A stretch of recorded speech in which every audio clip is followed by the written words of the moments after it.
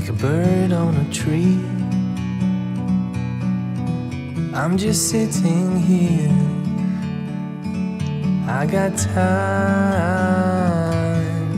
it's clear to see.